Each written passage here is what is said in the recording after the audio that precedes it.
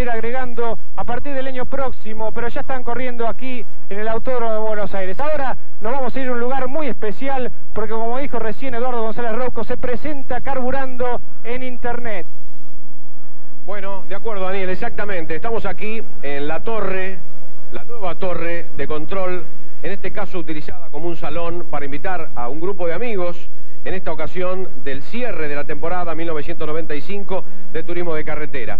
Y como ya anticipamos, como ya dijimos hace un rato, como dijimos en el día de ayer, como un poco hemos venido anunciando, Carburando también ingresa a, otro medio, en este caso no un medio habitual para todos ustedes, como ha sido la radio o la televisión, sino a un medio de la computación como es Internet. Y entonces le vamos a pedir a Litman que nos cuente un poquitito de qué manera, mientras vamos llegando o acercándonos hasta aquí, de qué manera Carburando va a poder acceder a Internet y no solamente al país, sino también al mundo. Bueno, digamos que Carburando ya está en Internet. Estas imágenes que estamos viendo acá son vistas desde cualquier lugar del mundo.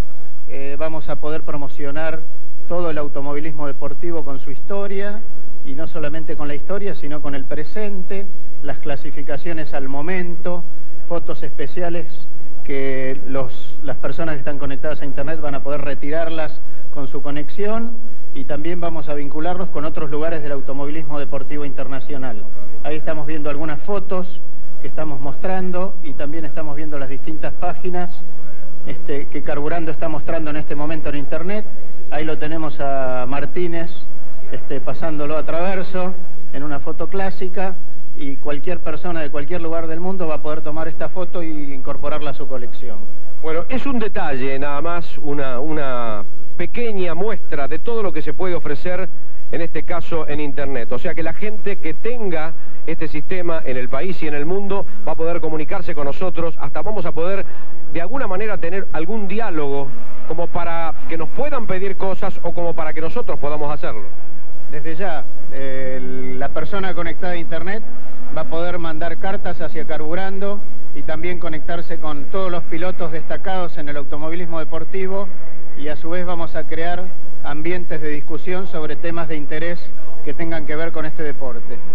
Muy bien, Teletel entonces, junto con Carburando, posibilitan esto realmente que creo que es importante porque el mundo de la computación, el mundo de la conexión, de las comunicaciones, hoy realmente es muy atractivo y estamos consiguiendo esto más allá de todo lo que estamos haciendo habitualmente en cada uno de los circuitos, así que les agradecemos lo que han hecho ustedes para poder lograrlo. ¿eh? Bueno, y esto para Carburando es la presencia en un medio de primera tecnología y un medio más donde Carburando está presente eh, en el aire, digamos. Magnífico, te agradezco muchísimo. Gracias, Nacho. Muy bien, mientras aquí estamos con todo el público que, insisto, está disfrutando de este momento, eh, tomando un champán Chandon, eh, a quien también le agradecemos esta posibilidad de acompañarnos en esta reunión. Vamos inmediatamente ya a continuar viviendo lo que está sucediendo en este momento en el autódromo. Y para ello voy a pasar otra vez a Daniel desde la cabina central.